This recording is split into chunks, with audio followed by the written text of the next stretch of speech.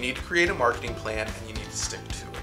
Just like all the other aspects of your day-to-day business, marketing should be planned out in advance. This shouldn't be a shoot from the hip, just kind of wing it thing.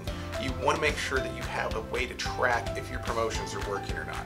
A marketing calendar is a great way to keep track of everything that you do throughout the year to see what's profitable and what isn't. That way you can continue doing what works for you and kind of putting the other stuff on the back burner.